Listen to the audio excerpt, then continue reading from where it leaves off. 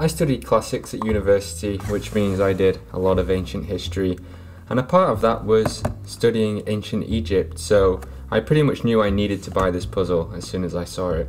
This is Tut's tomb, um, obviously named after the tomb of Tutankhamun. I don't actually know if this is correct, but apparently there was a puzzle found inside Tutankhamun's tomb which had four pieces and you had to turn the four pieces into a pyramid like so. This is a really cool looking box, it's super retro and check this out. It's from 1972 which means that this year it is 50 years old. That is just crazy, and it's in such good condition as well.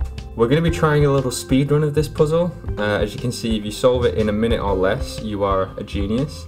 Um, whereas if it takes you an hour, you are the son of a camel driver. So, we're going to try and solve this in a minute or less and see if we get the IQ rating that we need. Um, that's assuming all of the parts are here. I actually realised I haven't even taken a look at the puzzle yet, so let's have a look.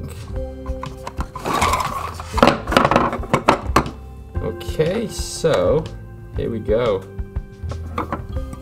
Uh, so we have the the base, and then here's the four pieces. So I guess.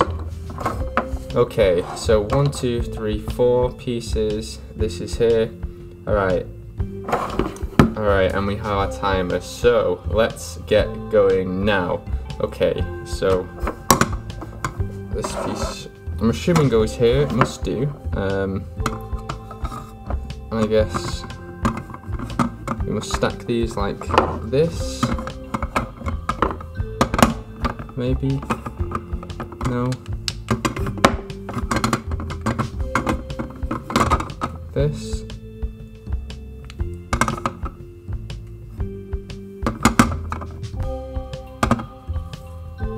Oh. There we go. 34 seconds. What does that make me, if not a genius? So, here it is, solved. Let's try and not break it. Here it is solved. Tut's tomb. 50 year old puzzle solved in 34 seconds. Um, so yeah, clearly I am a genius. but, but um, yeah, just a really cool uh, little puzzle that I wanted to check out. I got it pretty cheap off eBay, um, presumably because it's a lesser known puzzle, but the fact that it was 50 years old, looked cool, and was related to ancient Egypt, just thought it was pretty awesome. So there we go, that's it. Tut's Tomb is solved. Remember, if you've enjoyed the video, give me a thumbs up and subscribe, and you'll be notified whenever I make new videos. Have a really awesome day, guys. I will see you later.